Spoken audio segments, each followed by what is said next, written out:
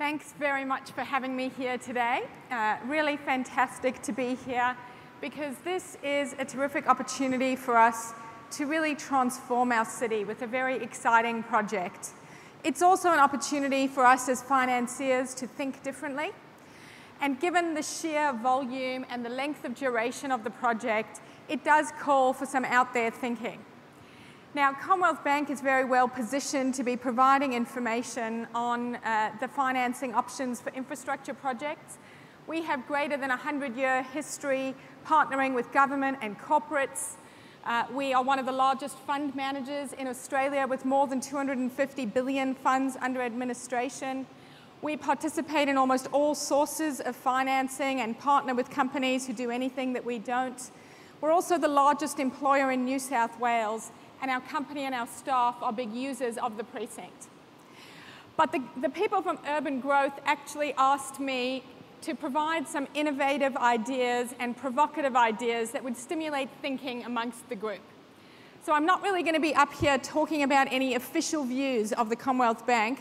I'm going to throw out a lot of uh, interesting and out there ideas as we go along. And if anyone wants to know the official CommBank position, you can come and talk to me afterwards. So there are a few subjects I'm going to cover in the talk today, uh, and they're listed on the screen there, talking about getting the project sizing right, making sure we have the appropriate risk allocation, structuring some innovative solutions for financing, and then how we establish a simpler procurement process. So I'll start with getting the project sizing right. This is important for us to consider both in terms of attracting the right developers and attracting the right financiers. And we have to get both of those right in order to have a viable project or set of projects. Now, it's a little bit like the Goldilocks story. If the development projects are too small, you won't attract the tier one developers. But if they're too large, they may not want to bet the house on one development. And you have to take into account the supply of labour and how that's going to work over du the duration of the project because all of the developers are constrained by the number of quality tradies that they can attract with the right skills and sustain that over a period for a long amount of time. Now, when it comes to investor considerations, you also have to think about the precedent that's been set. The historic sweet spot for New South Wales PPPs was 300 to 500 million. But let's look at what developments are going on at the moment. We have the Sydney Convention Centre, $1 billion. The Royal North Shore redevelopment, $1.1 billion.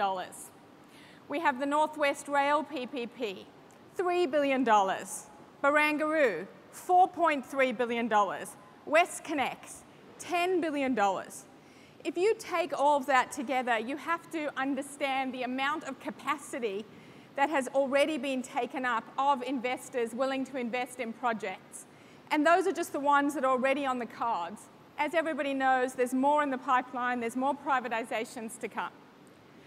So our view is that you have to get the size right and make bite-sized parcels. So it is back to the Goldilocks stories. You need to be able to feed baby bear and papa bear and mama bear. You need small parcels, 50 to 100 million, to attract the smaller developers and investors. You need very large size parcels, 2 to 7 billion, to attract the tier 1 uh, uh, developers as well as the overseas developers who will need to come and bring in some capacity into this market. And then you need the medium-sized parcels for the tier two developers who will have a big role to play in, in urban renewal. So it is about getting the size just right. Now let's talk about appropriate risk allocation. And to do that, I want, before I jump into the topic, I thought it might be interesting to think about the role of government and the role of government in assuming risks and taking risks. So if we go back many years, 100 years ago and start having a look at what some individuals might have said about the role of government. Uh, why don't we start, I don't know, let's start with someone like Adam Smith. He would have said that government plays three distinct roles providing national defense, uh, providing a judicial system, and then also the provision of certain public goods for the community. If we look at John Maynard Keynes, he would have said that the government should help out the economy and has a role to play in public spending. And I think it's good to bear in mind the role of the government as we start thinking through risk allocation. But we need to also start with the right mindset because often the approach is for government to try and minimize risk. And that is unlikely to result in the very best outcome and value for money. So I would encourage people to think about the idea of risk optimization across a diverse range of stakeholders. And if we go for risk op optimization, then the classic definition is that you want those participants who are best placed to manage and control the outcomes, to be accountable for assessing and pricing the risks associated with those outcomes. And if you can achieve that philosophical balance, then you will be apportioning risk into the right places. Now, before we dive into which risks who can take, I think it is important to take a, a step back and really think about this from a more corporate perspective. There are some non-negotiables that the corporate sector just will not be able to take on as risks. And I've tried to list those on the screen behind me. But things like native title risk, cultural heritage risk, unknown pre-existing contamination risk, and planning risk cannot be taken on by the corporate sector. And so there is clearly a role for governments to play in taking on those risks. There is also a role for government to play in helping the private sector understand and assess all the risks that they do want the, corp the corporate sector to take on. And so let's have a look at what some of those may be. So starting with construction risk. Now we all know that the private sector is willing to take on construction risk and has a good track record of doing so. So what can be done in order to make sure that the corporate sector most appropriately assesses and takes and prices that risk? Well, it starts with a fantastic master plan. A plan that really sets out all the objectives and then phases all the development in a sensible and logical way that also matches the developer's ability to staff and manage that project over its life cycle. So that is construction risk. Let's look at demand risk when it comes to greenfield traffic. This is another risk that the private sector has shown that it's willing to take on. And you can argue that it's even gone too far. And there have been a number of very high profile issues when it comes to greenfield traffic risk in both New South Wales and Queensland. But there are some good examples where we've gone back to sensible structures to try and address these risks. And a very good example is in Chile, who've taken the lead on some of these. And what they introduced was a target as well as a minimum. And the, go the government underwrote underperformance to the minimum. It also matched the concession period to the target and then introduced a cap and a collar so that while it was underwriting underperformance to the risk, it enabled the private sector to participate in the upside, but only to a point. So a good structure. If we want to look closer to home, let's have a look at the WestConnex structure. What's happening there is that the government is funding the first stage of this project from a combination of Commonwealth grants, extending the concession on existing assets, and getting an upfront payment from the owners. What they're going to do uh, is progressively sell down their stake as the project progresses and is de-risked, and then recycle the capital back into subsequent stages of the project. They've also indicated that they intend to maintain a minimum of 20% in the project, which is good. Now, if we took this concept and applied it to the bays, we could even think about taking that further for example, we could add to the government equity stake a performance element, such as a surety bond, which would further de-risk this stage. Now, there's also another demand risk, which is about real estate and getting the right mix between what the market requires and what consumers want, and what's good and in the best public interest, and the right mix of housing styles and retail opportunities. Now, again, the best plan here is a, is a good master plan that lays everything out. And it is all about the phasing because you don't want to be in the position where you have an empty shopping centre. So, of course, the universities, the roads, the schools need to come before the shopping centres. Uh, and, and so that phasing and uh, thinking through all the subsequent stages, it might sound obvious, and a lot of people are nodding in the audience, but you'd be amazed at the number of projects that build the shopping centres first. Now, there also needs to be underwriting of demand through long-term services contracts or long-term tenancies.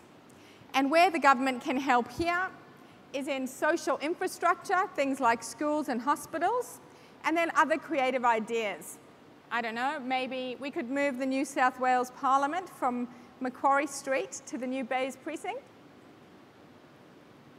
No, not funny. So in summary, if we want to talk about how to help the private sector take on the risks that are most rightly allocated to them, it really comes down to three big things. Who wants to say what they are? I've got to keep you involved because the fans and everything, it's really loud in here. So number one, I've said it at least five times, A, master plan, master plan. Number two, really good phasing and staging in the project. And number three, a philosophy that seeks to allocate risks to those who are most in the position to control, manage, assess, and price those risks. Let's move on to structuring the best solutions, the third topic that I wanted to cover. Now, we all know what the current suite of financing options is that's available. You know, the bank debt market is, has shown to be very supportive and has a good track record in infrastructure in Australia. Equities, we have one of the top, the ASX is one of the top 10 exchanges, raised over 64 billion in the last 12 months. Super funds, we have the fourth largest supermarket in the world. We have our own future fund that has more than 100 billion uh, available. Government can hold assets, etc. And we've always been a good jurisdiction for attracting international investment. So lots of options available that are traditional that we know about that I'm not going to spend any time on.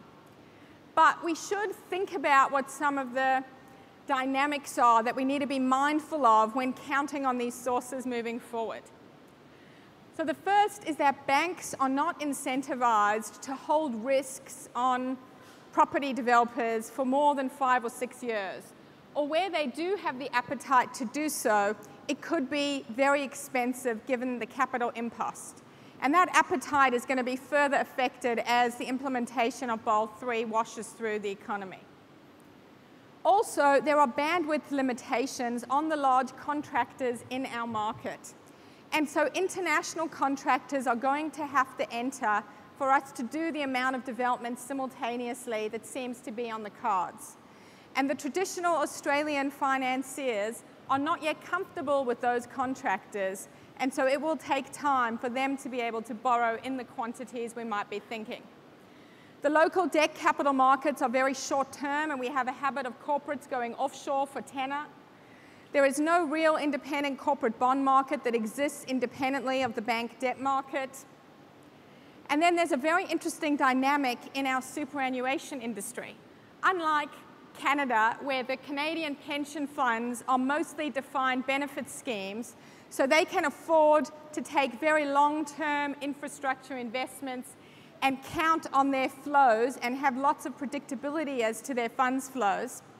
The introduction of choice in super funds and the rising prevalence of self-managed super funds means that the Australian superannuation industry cannot easily predict what their flows are.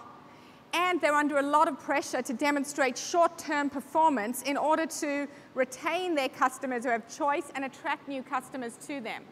So their ability to take very long-term bets is, is also being questioned by this drive for short-term performance. And then finally, International is part of the solution, but we can't think that it's 100% of the solution because there's a level of foreign investment that may not be politically palatable. So given that there are all these challenges, we thought it'd be good to think about some different and out there models of financing. So here goes the part that's meant to make you really think hard and come up with lots of other, even better ideas. Let's start with philanthropy. So there are high net worth individual, individuals who don't necessarily need a return on their investment and who are willing to invest for the greater good. An example is the Australian Chamber Orchestra, which has a fund for investing in rare string instruments. Now, this fund does have a return, but that is not the primary motivator for the investors in that fund. Now, there's no reason why this kind of a model could not be used for sculptures, music halls, universities, other, other items that you'd like to put into the precinct. And it could be structured so that generational uh, or intergenerational naming rights are provided and funded directly by an individual or via a charitable foundation on behalf of an individual, a family, or a company. Another idea, an infrastructure staple.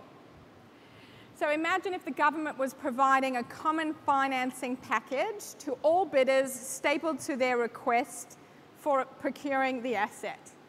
Bank debt could write an acquisition facility for the delivery of the asset, and then this could be replaced by an operating lease. The residual value component would be off balance sheet for government, and the residual value could be up to 50 to 60% of the asset, depending on the asset type. The government is only committed to the rental, but maintains control. And although this kind of structure might seem new and hasn't been achieved in Australia, we are starting to see uh, small projects like this in other parts of the world, such as Eversholt Rail in the UK. Okay, what about a free economic zone in the Bays precinct? Now, we could have zones in the Bays precinct for industries that are the growth engine of tomorrow. For example, Abbott's five target industries that uh, were announced.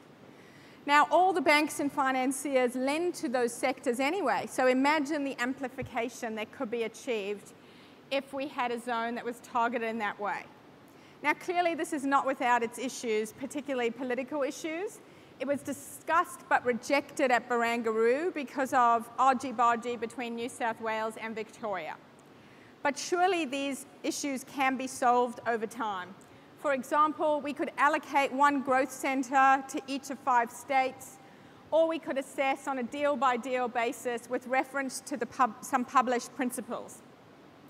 Now, if we push the envelope even further under this uh, heading of a free economic zone, uh, what about having the bays be a designated infrastructure project that attracts tax-preferred or tax-exempt status, or even bringing back the retail infrastructure bonds?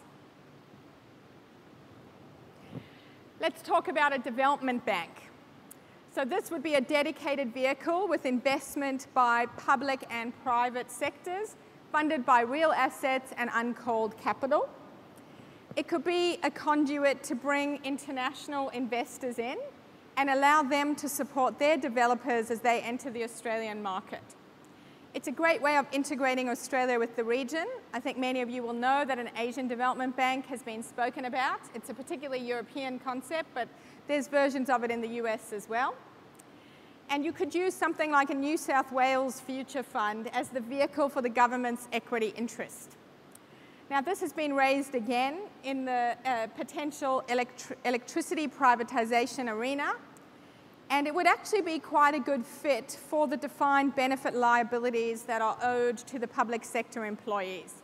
You could even bring in retail through retail or social bonds or some sort of a project hybrid. Now, all those four ideas I've spoken about so far and all of the funding, we, uh, financing methods we went through really revolve around Western structures of financing. But perhaps we need to be more open as an economy and we need to look at all ways of raising capital, even outside our typical markets. So I'll give a couple of examples, one being Sharia bonds. Now we know that there are countries and investor bases who, uh, where interest-bearing bonds are not permissible. So here we could structure some sort of a profit share post-construction phase. And then we'd be able to target this at markets that include Malaysia, Indonesia, and the Middle East. Now, no one has cracked this at scale yet in Australia. Uh, the UK government is the first Western government that uh, sold a Sharia bond. They did so in June of this year. It was for 200 million British pounds, and it was 10 times oversubscribed. Another example of this is trying to structure for pools of capital and market nuances. So an example would be Japan. Currently, there are structural limitations to directly accessing retail investors over there, and that's largely a product of the um, banking system hierarchy. But we know that there are investors who are long on deposits and keen to find assets to match. So by working with the Japanese government and regulators, we could look at innovative ways of accessing that investor base. So I'm not saying that any of these are easy or without their challenges and pros and cons, but I think hopefully it gives you an idea and, and gives you some stimulation for thinking through different ways in which the financing challenge could be addressed in the Bays precinct. Now my last topic that I wanted to talk about was just establishing a simpler procurement process. And before I dive into what I think could be done differently, I think we should acknowledge that there are some things that are working really well. So lots of market soundings, frequent interactions with consortia, all improve people's understanding and ability to assess and price risk. That's good. Allowing for some innovation. An example is the Sydney Convention Centre, which didn't have their DA approved, allowing for innovation in design from the consortia. So that's a good step. Not having bank exclusivity, well, we would certainly endorse that. And some added bid, bid flexibility where you have the ability to enter non-conforming bids in addition to your conforming bid. All very positive steps in improving the bid process. But we think that there are some things that could be done differently. And the, the one reason we think that is because the typical PPP bid in Australia costs double that of Canada. And um, there are a couple of reasons for that. Uh, one is that our bids are generally more complex because they focus on value for money for the government, sometimes at the exclusion of other stakeholders. And secondly, there's a requirement to have a very high level of certainty on all the commercial terms before a preferred bidder is uh, appointed. And that causes a lot of time, uh, money and legal fees to be incurred by multiple players much earlier in the process than may actually be needed. So there are some options for thinking differently about the bidding process. We could create a structure like the Chicago Infrastructure Trust, which would build up institutional expertise in the public sector. We could use standardized contracts. We actually have a national PPP framework. Might be time to actually use that. And then there's a question about whether we should redefine the scope of probity. Now, clearly, probity is a good thing, but probity is not always conducive to inviting innovation. And so, a model I think we can think about is, is one that is prevalent in defense. In defense, it's widely recognized that you need to have, the, the government needs the ability for people to approach them with cutting edge leading defense technology. So they designate certain, certain suppliers as strategic who are able to bring ideas to the government, not just respond to a very structured tender process. It might be time to think about whether there are other elements of government activity where innovation is also valuable, where there can be a change in approach like the defense model, where there are strategic suppliers who are able to innovate and bring unsolicited ideas to the government. So those would be hopefully two interesting ideas about improving the process. Now, I think I actually provided more questions than I did answers, which is what I was intending to do. And I don't think that that is actually a bad thing. because it is through a rich dialogue and debate that the best answers come to light over a period of time. And as long as you have a really great vision in the beginning and you get a whole bunch of people working towards that vision, then I'm confident that the answers will emerge. And to give you confidence in this concept, I'm actually going to share with you a clip. It's a clip from 1987 that was produced by Apple for its internal employees. It's a clip that lays out what they thought the future of computing would be 20 years from when they designed this video. And I think you will be astounded, and I'll point out as we go through the clip, all the wonderful things that Apple has delivered to us in the last 10 years are in this clip from 1987. Now, just to put it in context, because so, it's easy to watch this clip and think, yeah, that's obvious. 1987 was the Macintosh 2, which was only the second generation after the first graphical user interface. Most computers were still running DOS. For those old enough in the room, that's the one with the black screen and the green text, ASCII.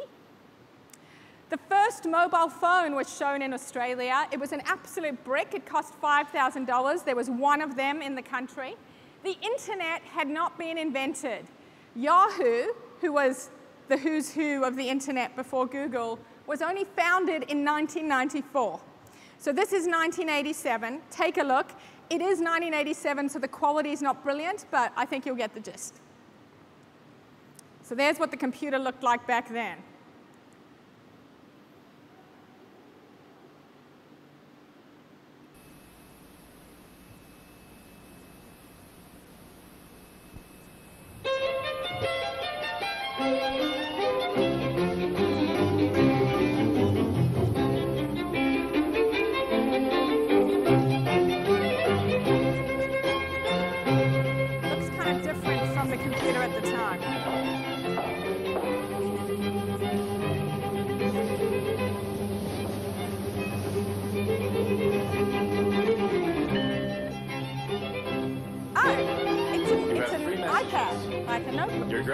Research team in Guatemala, just checking in. Robert Jordan, a second semester junior, requesting a second extension on his term paper. And your mother reminding you about your father. Surprise birthday party next Sunday. Today you have a faculty lunch at 12 o'clock. You need to take Kathy to the airport by 2. You have a lecture at 4.15 on deforestation in the Amazon rainforest. Right. Let me see the lecture notes from last semester. No, that's not enough. I need to review more recent literature. Pull up all the new articles I haven't read yet. Journal articles only? Mm-hmm, fine. Your friend Jill Gilbert has published an article about deforestation in the Amazon and its effects on rainfall in the sub-Sahara. It also covers drought's effect on food production in Africa and increasing imports of food. Contact Jill. I'm Integrated sorry, she's not phone available and right computer. now. I left a message that you had called. Okay. Let's see. There's an article about five years ago, Dr. Flemson or something. He really disagreed with the direction of Jill's research. John Fleming of Uppsala University. Researching the internet. He published in the Journal of Earth Science of July 20 of 2006. Yes, that's it. He was challenging Jill's projection of the amount of carbon dioxide being released to the atmosphere through deforestation. I'd like to recheck his figures. Here's the rate of deforestation he predicted. Mm-hmm. Okay, the what charts happened? are a bit better than what they thought. Hmm. He was really off. Give me the university research network. Show only universities with geography nodes. Touchscreen.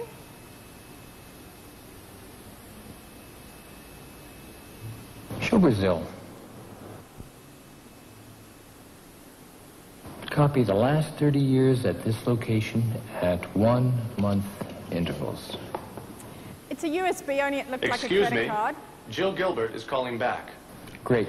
Put her through. Hi, Mike. What's up? Jill, thanks for getting back to FaceTime. me.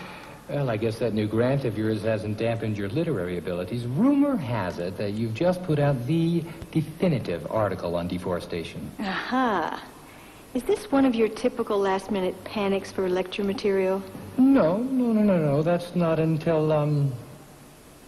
415. Well, it's about the effects that reducing the size of the Amazon rainforest can have outside of Brazil. I was wondering, um, it's not really necessary, but, uh... Mm, yes? It would be great if you were available to make a few comments. Nothing formal. After my talk, you would come up on the big screen, discuss your article, and then answer some questions from the class. And bail you out again? Well, I think I could squeeze that in. You know, I have a simulation that shows the spread of the Sahara over the last 20 years. Here, let me show you. Desktop sharing through WebEx or one of those services? Nice. Very nice. I've got some maps of the Amazon area during the same time. Let's put these together. Now, it's still not that good or easy to do this kind of research and combining data sets, so there's still more they can come out with. Great. I'd like to have a copy of that for myself. Hmm. What happens if we bring down the logging rate to 100,000 acres per year?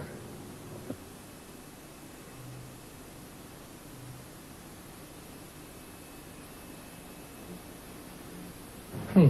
Interesting. I can definitely use this. Thanks for your time, Jill. I really appreciate it. No problem.